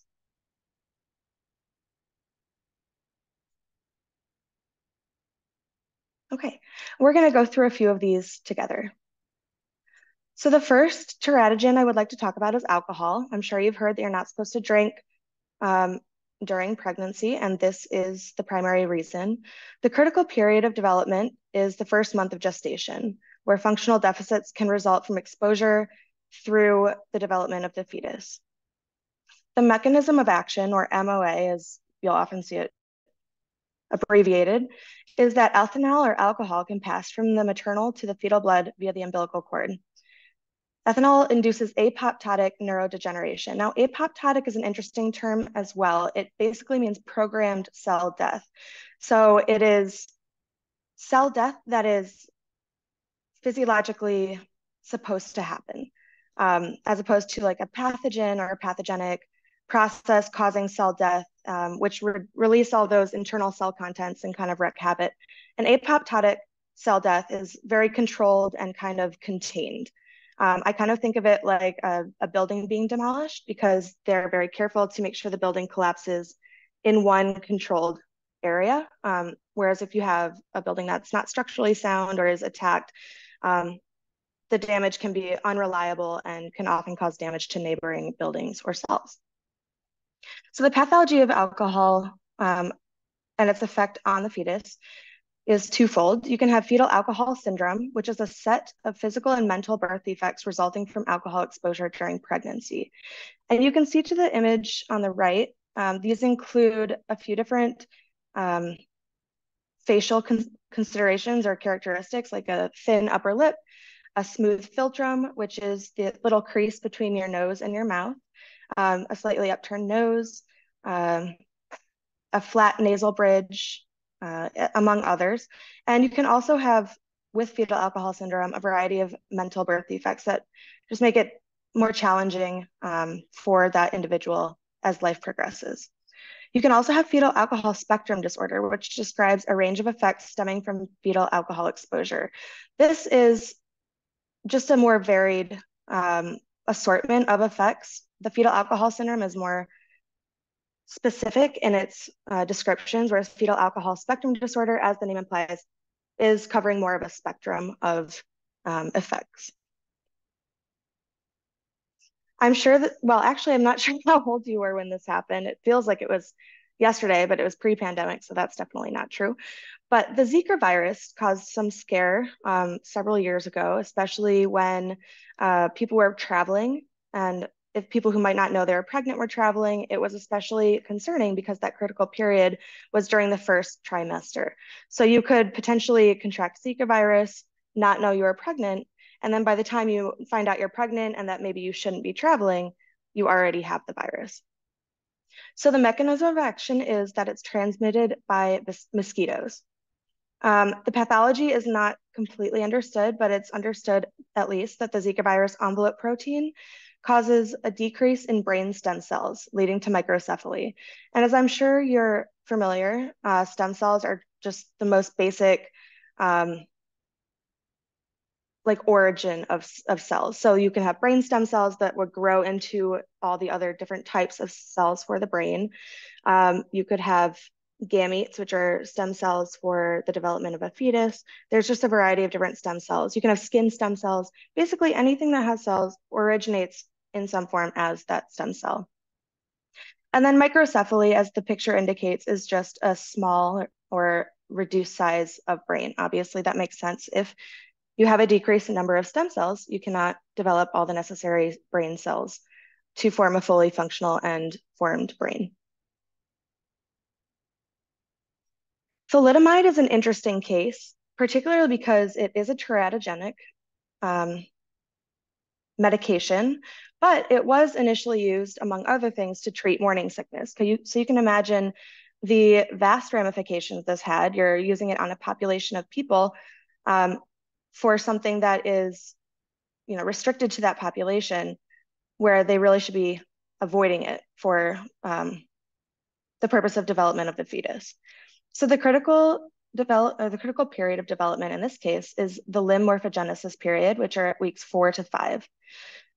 The mechanism of action is that it inhibits angiogenesis, which inhibits fibroblastic growth factor or FGF, which stimulates limb growth. So if you kind of track that back, FGF stimulates limb growth. You don't have FGF, you cannot stimulate the limb growth. Again, it's not fully understood, but as you can see to the picture on the right, um, the limb pathologies are a little bit interesting. Um, they're not simply truncated at like the elbow, for example. You actually do have some development of the hands and feet or the distal features, as we were talking about earlier. Um, but what you're really missing is kind of in between the distal feature and the attachment at the core. Um, the pathology, as, as I just said, are limb formations with phocomelia or distal appendages attached closer to the body, or amelia, um, which is just the lack of limb. Um, internal organ malformations that are associated with thalidomide are heart defects and duodenal stenosis. And the duodenum is part of your digestive tract. If you can imagine you have a stenosis or a narrowing anywhere along the digestive tract, you're going to have some ramifications down the line. Okay, so we're going to transition to uh, gamete production and to um, reproductive organs and oogenesis, spermatogenesis, all that good stuff. So I want you to focus first on the bottom half of this graph on uh, spermatogenesis. And there are a few things I want you to take note of. The first is that the gametes are arrested, mitotically arrested before birth. So if you see the dotted line here for birth, the gametes are mitotically arrested. Um, you can contrast this to oocyte development where you have a meiotic arrest.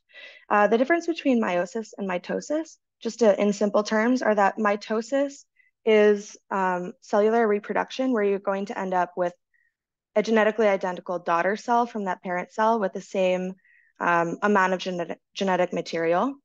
Whereas the meiotic arrest or the meiotic process, um, you get a daughter cell from a parent cell that has a reduced or half the amount of, in this case, half the amount of genetic material.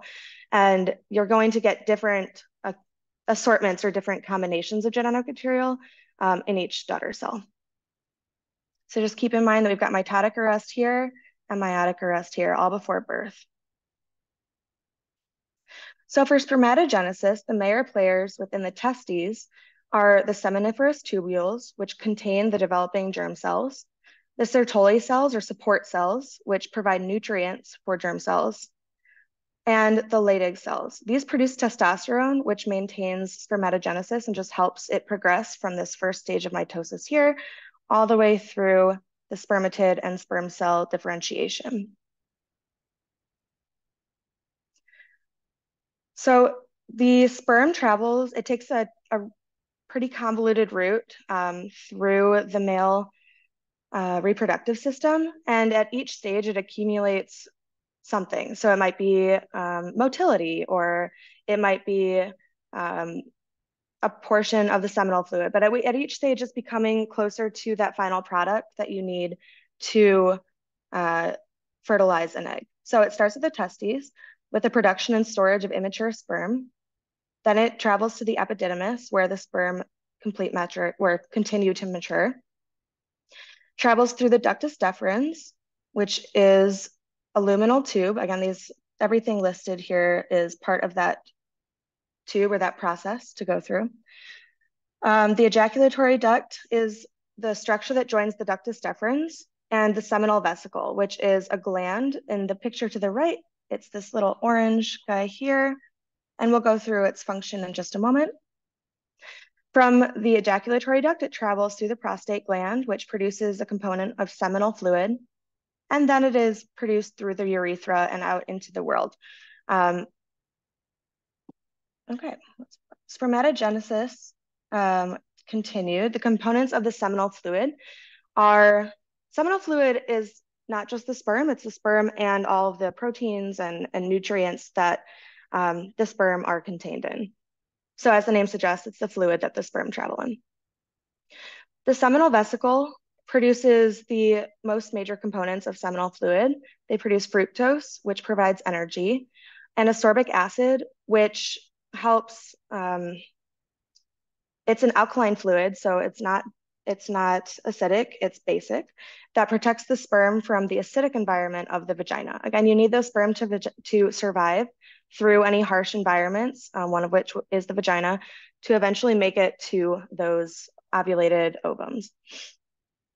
The prostate gland produces the second most um, abundant component of seminal fluid, and it produces phosphate, lysozymes, spermine, citrate, fibrinolysin, and other chemicals. And this concoction or mixture of chemicals prevents sperm from coagulating. Again, you want them to be mobile, you want them to be motile, and you want them to be able to reach their final destination. The testes and epididymis, as well as the bulbourethral gland, do contribute to the seminal fluid, but in a much smaller um, volume. Okay, so we're familiar with this photo. We're, we're circling back around. We've talked about the mitotic arrest in um, male germ cells that continue to grow after birth and through puberty. Fetal development is, is very interesting in, in many regards, but one of the most interesting aspects of it is that we're going to come back to this meiotic arrest. The fact that it happens before birth means that you have all of your eggs before you are even born. So that is really interesting. You you are ready to go. They're not developed, but they are the the stem cells, as we talked about, that um, you need to to ovulate each month after puberty um, in order to conceive. So if you think about it that way, that you actually have all your eggs before you're even born, and then from that stockpile, they'll go in, on to to mature in certain ways. So the process of egg development is called oogenesis. Um, and it is linked to the menstrual cycle very, very deeply. So the follicular phase is the first phase, as we talked about, day zero to 14. This is supported primarily by follicle stimulating hormone or FSH. So in response to FSH, about 10 primordial follicles or young follicles will mature to primary follicles and then to secondary follicles. And there are a lot of characteristics between these um, stages that you will learn eventually if you decide to pursue this. But everything, you know, is happens for a very specific reason, and um, the characteristics of each follicle stage contributes to the development of the ovum. So the first secondary follicle, follicle becomes the dominant uh, secondary follicle simply by using more FSH. It's greedy. It takes more FSH than the others and that inhibits the, uh, the growth of the other follicles. So you do want to ovulate only one egg, but you start out with 10. And the way that you end up with one is this greedy follicle, this dominant secondary follicle uses more FSH than the others. Hey, Kate, before you go on, can, can you up at the top of that diagram with your cursor, could you just help um, all the students that are listening or that are going to watch the recording kind of understand that the follicle is the shell of cells. And so maybe pointing out the follicle versus the oocyte, the egg cell inside. I think that might be helpful for them. Yes, absolutely. I'm so sorry. I forgot I could forget you could see my cursor here. So that's yes. So you've got the ovum here. Um, a follicle is formed around it, and the follicle is what primarily determines primordial, primary, and secondary follicles to a certain extent. And it's indicated by this red material here. So the dominant secondary follicle becomes a tertiary follicle, and ideally you just have one of these tertiary follicles because it has suppressed the growth of all the others. So once you have this tertiary follicle, the next stage at day 14 is ovulation. And this is triggered by a, luteinizing hormone surge, um, which leads the follicle to swell and burst and eject that ovum into the peritoneal cavity. So the follicle over here, the environment that the ovum has been um, kind of sitting in, is rem it remains behind and it ejects the ovum here uh, into the peritoneal cavity. When I was learning this, or before I learned this, I actually thought that the egg kind of like followed a tube similar to the sperm into the um, from the from the ovary into the fallopian tube, but it's a little bit cooler than that. You have these fimbriae or fingers that kind of reach out into the peritoneal cavity after the ovum has been ejected and kind of brings it into the fallopian tube. So it's um, it's less of a, a solid solid tube and more of like many hands grasping for the ovum and bringing it into the fallopian tube. The follicle that's left behind in the ovary becomes the corpus, corpus luteum, and we will talk a little bit about that, but I believe that's covered more later if you do need to know anything more in depth about that. Uh, we're gonna focus on the ovum today. So once the fimbria at the end of the fallopian tube have brought that ovum in, we have reached the luteal phase, which is day 15 to 28. This phase of the menstrual cycle is supported by progesterone. Um, at this stage, the ovum has not been fertilized, so we're just focusing on the menstrual cycle as if um, as if conception has not occurred. Uh, so the ruptured follicle becomes the corpus luteum, which produces progesterone and inhibin. Inhibin inhibits FSH, and we're going to go back here. FSH um, promotes the follicular phase. So you want the luteal phase to last long enough to build up this endometrial lining so that if um, if fertilization did occur, the endometrial lining would be uh, a supportive environment with which to implant that egg. The degeneration of the corpus, corpus luteum leads to the decrease in inhibin. This, is, uh, this leads to an increase in FSH, which leads to the follicular phase. So the decrease in inhibin, it's you're decreasing an inhibitory substance. So it's actually called disinhibition um, because you're removing kind of like the brake pad.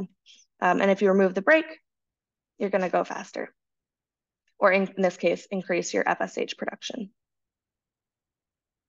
Again, this, this is a little bit complicated, but if you focus on this chart over here, it brings everything together quite nicely.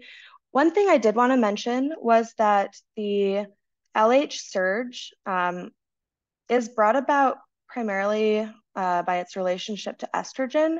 And I just wanted to connect this back to our very first lecture about um, feedback once you, so the estrogen, as you can see, is growing here.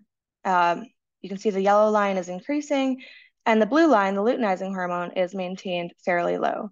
And that is because estrogen primarily inhibits LS, or LH until it gets to a certain threshold. So it's initially a negative feedback to the LH. Once it hits a positive threshold, um, it actually causes the LH surge. So it has the opposite effect or a positive, like a feed forward effect. And again, Kate, before you remo- you move on, can you just help them understand that each of these different horizontal rows on the diagram is really kind of focusing on different events, some of which are taking place in entirely different organs. And I think that would be, if you highlight that, I think that will make more sense to them. Yes, absolutely. So as we focused up here on the top with the ovum and the follicle, this is the ovarian cycle.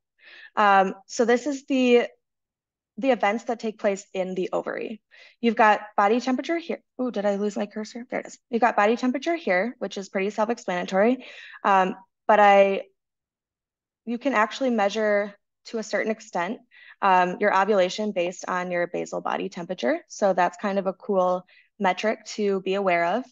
Um, you have the anterior pituitary hormones here. The anterior pituitary um, is located in like your brain. So it is not a reproductive organ and it is responsible for much more than just um, the menstrual cycle and the production and maturation of ovum.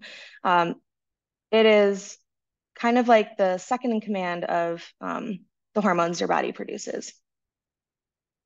The ovarian hormones are being released by the ovary, so kind of connected over here to the ovarian cycle. Those are occurring in the same place. And then the uterine cycle is the life cycle of the uterus lining. So you can see these red squiggly lines are blood supply. Um, you can see the surface kind of degrading here. That's because you're losing um, endometrial lining, and that is through the menstrual period. Uh, then you can start regrowing the endometrial lining, the blood vessels continue to grow, continue to supply nutrients and oxygen to that endometrial lining. um, until you start that process all over again.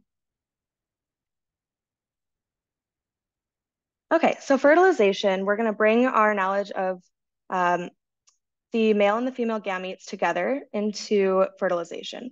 So before we go into the process too deeply, I want to take a moment to explore the uh, microanatomy of these two structures. So the human sperm or the spermatozoa is composed of a tail or flagellum. Um, an axoneme refers to kind of the, the the microstructure within the flagellum, but we that's beyond the scope of this class, I believe. Um, then you have the mitochondria, the powerhouse of the of the cell, what supplies the energy, um, and that is housed in the midpiece. Then you have the head of the sperm. So you've got three pieces, tail, midpiece, and head, and each of them have their own function um, and their own characteristics. The head is composed of an acrosome or kind of like a, a cap, a protective cap it's kind of like um, the helmet of a knight um, outfit, I guess. Outfit seems like the wrong word, but you know what I'm saying. Um, then you have the nucleus, which contains all the DNA material that you want to eventually combine with the ovum. And then you have the centriole, which I might need some help on that. Not, not important for the scope of the class, I guess. All right, for the human egg or the ovum, you have the nucleus, again, corresponding to the male sperm nucleus here that contains the DNA or the genetic material for the egg. You have the first polar body, which is the result of cell division. That used to be an ovum as well. It's, it's been degraded to a, well, it's been left behind kind of to become the first polar body. And if you go back to that uh, image that I shared a few slides ago, with the male or the female development on top and the male on the bottom, you can see where the first uh, and second polar bodies are coming from. Then you have the zona pellucida or a jelly coat surrounded by a corona radiata or a crown of cells. Um, that's how I remember it. You've got corona, crowns kind of right in the name. And cytoplasm, as we discussed before, is the, the internal uh, contents of the cell that are not the nucleus and the other small organelles. Okay, so fertilization events, I'm trying to go in order here. So fertilization takes place in the ampulla of the fallopian tube. Um, that is just a really important tidbit of information to know. You will be asked it many times throughout the course of your life, perhaps not in trivia, but definitely, uh, you know, in the course of your medical or an anatomical studies. So definitely keep that in mind. Um, sperm penetrates the ovum corona radiata. So going back here, uh, sperm is going to first contact the corona radiata because that's on the outside. You have what is called an acrosomal reaction. So proteolytic enzymes released from the sperm acrosome begin to dissolve the ovum zona pellucida in order to allow the sperm to enter. So that let's just take that in for a moment. You've got proteolytic. Um, if we break it down, you've got proteo or protein. Lytic is um, like destructive or uh, so you're destroying the protein and enzymes are the proteolytic component that are doing that. Um, they're released from the sperm acrosome, which was that helmet cap that I talked about. And they begin to dissolve the zona pellucida in order to allow the sperm to enter. So they've penetrated the corona radiata, the acrosome comes into contact with the zona pellucida, and you have what is called the acrosomal reaction. So the membrane, membranes of the sperm and the ovum fuse at this stage, and the cytoplasmic contents of the sperm enter the ovum. Contact between the sperm head and the ovum membrane lead to an increase in cytoplasmic calcium, which triggers the second meiotic division and the cortical reaction, which hardens the zona pellucida and prevents polyspermy. So at this stage, your contents, your cytoplasmic contents have fused. You have the male uh, genetic material close to the female genetic material, but there is something else we need to worry about, and that is that you don't want every sperm that comes into contact with that ovum to be able to contribute its genetic material. So we need to shut that down. Once one sperm enters, we need to lock down the, the boundary or the barrier to any other entering sperm. And that's kind of where the cortical reaction comes into play. So it hardens the zona pellucida and it prevents polyspermy or multiple sperm fertilization. The second meiotic division is completed at this stage. The chromosomes of the ovum and the sperm decondense and become the female and male pronucleus. So the chromosomes are very well organized most of the time in these tight coils, um, which are not easily accessible to other, to the um, male counterpart or to the female counterpart to complete meiosis. So uh, you need them to decondense. decondense. Basically, if you want to zip up, let's see. I'm trying to think of a good um, analogy here, but but in order to have anything gain access to the entire genetic material or genetic contents, you do need them to relax and kind of decondense so that it can gain access to the to the um, pronucleus of the other gamete. So the pronuclei fuse, and at this point, they have formed a zygote.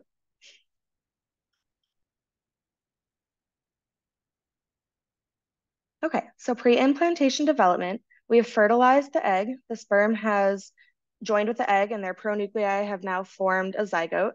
Um, following fertilization, the zygote repeatedly divides as it travels down the length of the fallopian tube. So remember, we were fertilized in the ampulla, which is right here. It's kind of like the widest part of the fallopian tube near the fimbriae.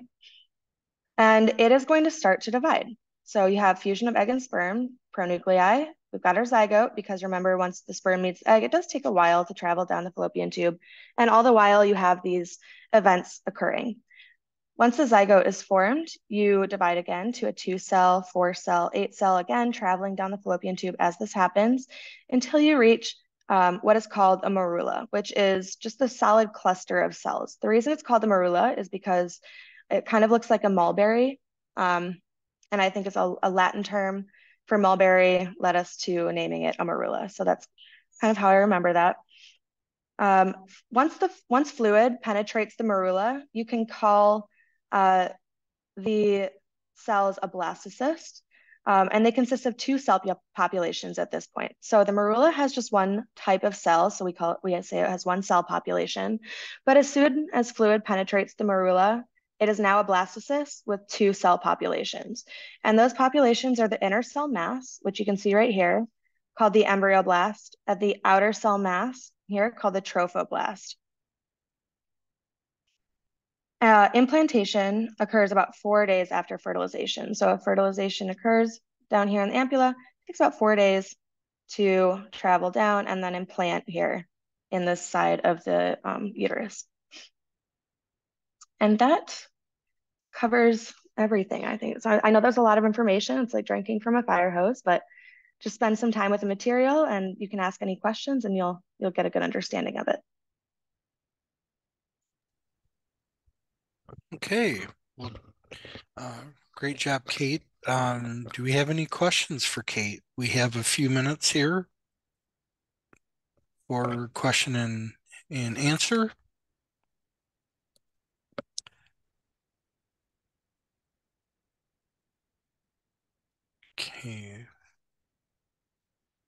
Let Dr. Proskura or Dr. Peterson answer that question. So I'm going to ask, um, is it is it Riley? Riley, can you turn on your microphone if you don't mind? You don't have to put your camera on if you don't want to, but just give me a sense of really what you're trying to ask, and maybe I can uh, try and answer it. Uh, so, are we basing uh, what we're talking about here I'm like I heard uh, Mrs. Um, let me check real quick. Uh, where is it? The the first lady who spoke. Uh, not sure her name. Anna. But um, I heard her talking about like how like the tailbone comes from evolution, and I was wondering where we stood on that, like as a whole of this group. Like, are we coming from a more evolutionist standpoint or a more um, like non-biased standpoint without like really pushing a certain bias? I guess what I'm going to say, Riley, and maybe this is getting at your question, maybe not. We're going to take sort of the standardized traditional um, perspective of the formation of all of these different cells and uh, the processes that um, we associate with, in Kate's case, human development. So there's an evolutionary aspect, of course, based on what we understand from the paleontological paleontological record, but we're not trying to influence anyone or sway anyone around any given um, single philosophical perspective. So you have uh, your own unique way of viewing some of this. We can recognize that and we appreciate that. Does that help? Uh, yes, ma'am, that does. Uh, I was just wondering, like, are we going to be base? Uh, you answered my question, but I was just to break it down a little bit better. Uh, I was just wondering if we were going to be like basing this off like a certain viewpoint the entire time, being like we evolved from this, this, or this, or we were created by God through Adam, and yeah. I think what I'm going to tell you is that, again, a little bit more standardized or traditional approach based on the evidence that we have at this point in time. And we'll try not to bring evolution or anything else into it, but keep our lectures and our learning objectives and therefore our assessment questions really focused on evidence-based science and medicine. Can you define standardized? So I'm going to say our standardized view is what is typically presented um, in curriculums associated with uh, undergraduate and uh, graduate school programs here in the United States. All right, thank you.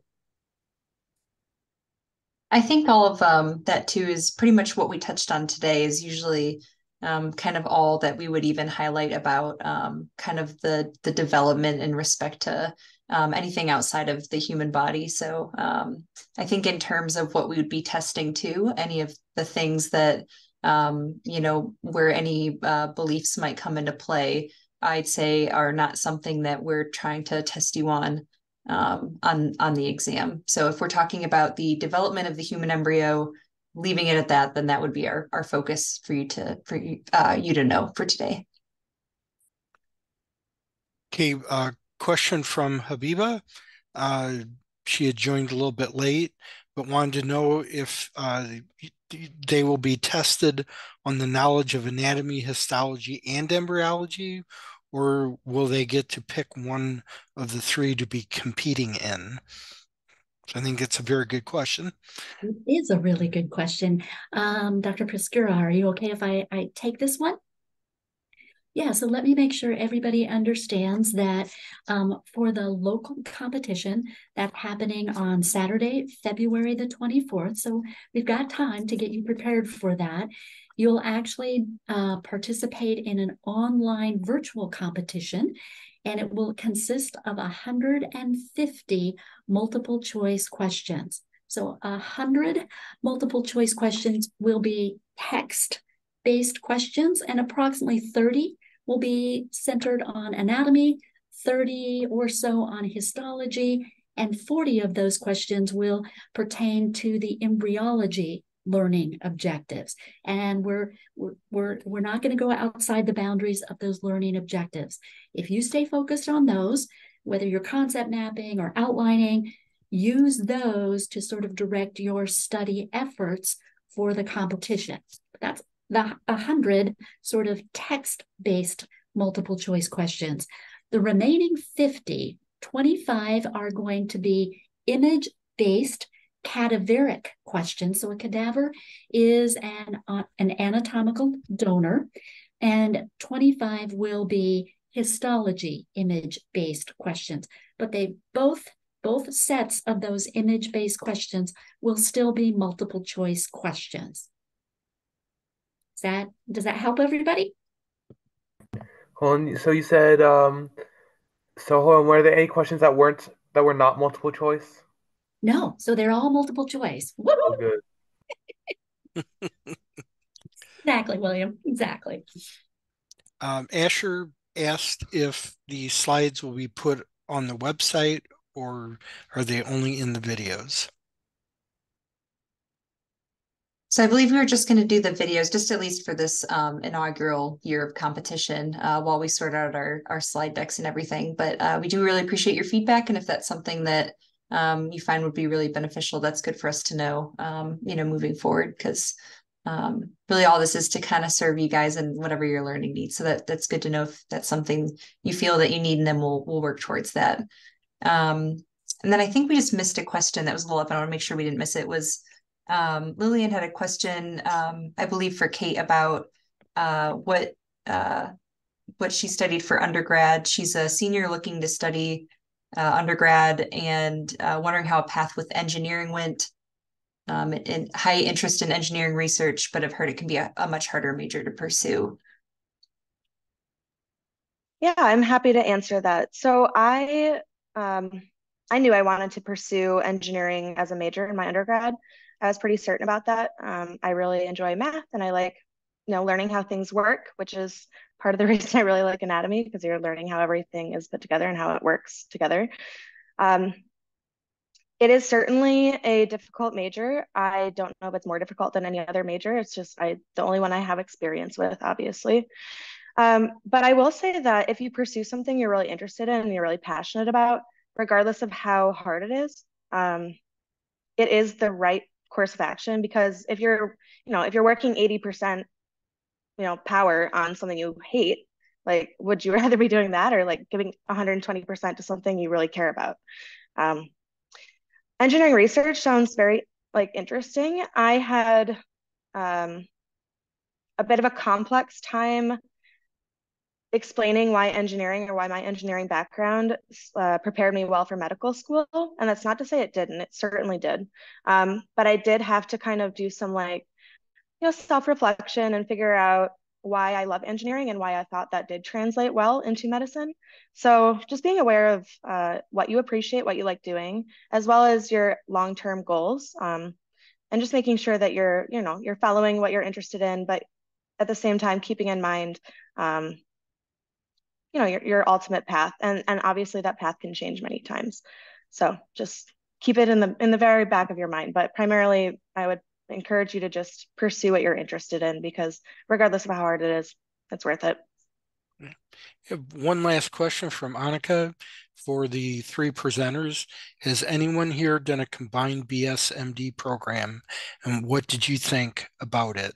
And would you recommend doing it?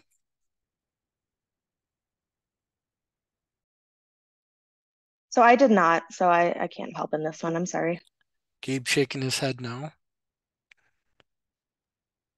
I have not. Um, I had a student that was on that track uh, that had joined our research lab when I was uh, completing my PhD.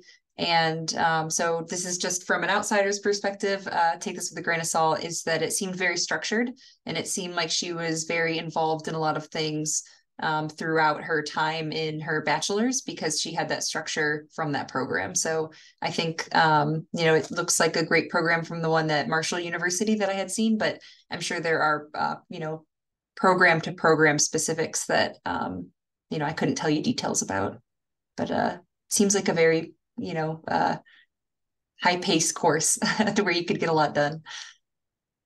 And I'll just really quickly, I used to teach at an institution that offered a BSMD program. And um, just two things that you should consider. Typically, you're selected for those programs coming right out of high school. So you have to be really competitive as a high school student. And then the day after you graduate, you start your undergraduate BS part of the degree. And that means you got no summers off. You pretty much go straight through. So if you have any interest in traveling or, you know, doing some volunteer work, um, shadowing physicians, it, it makes it more difficult. And then finally, when you are in medical school and by the time you get to where you're actually rotating through different kinds of internships within the hospital, you're still fairly young. And sometimes that maturity that you gain with life experiences helps you better relate to patients. It's not saying that you can't do that when you're younger, it just sometimes is more of a challenge. So I think all things to consider. I'd say don't be afraid of a gap year between undergrad and grad school. Um, having now um, helped with interview applications and stuff at my current institution, um, I actually find that our students that took a year or two or three or more off um, between undergrad and grad school tend to be extremely competitive. Uh, you know, really the the standout leaders amongst the group um, from getting that experience. So don't be afraid of it. That being said, again, I've had people that are also leaders from right out of undergrad. So um, hopefully that helps. Um, if there are no other questions, um, I'd just really like to thank everybody for being here for our inaugural competition and for our uh, first tutoring session. And big thank you to uh, Hannah, Gabe, and Kate for giving such amazing presentations for this first time. So um, everybody, you know, round of applause for them and, and round of applause for you all for spending your Sunday evening to be here. So I just wanted to say that. I would just like to say as a precursor, uh, October 22nd, uh, we will be looking at the anatomy of the skeletal system, also the histology of cartilage and bone, and in embryology, we will be looking at gastrulation. So much to look forward to. Thank you all for coming. Take care, everybody. Thanks, everyone. Have a good night.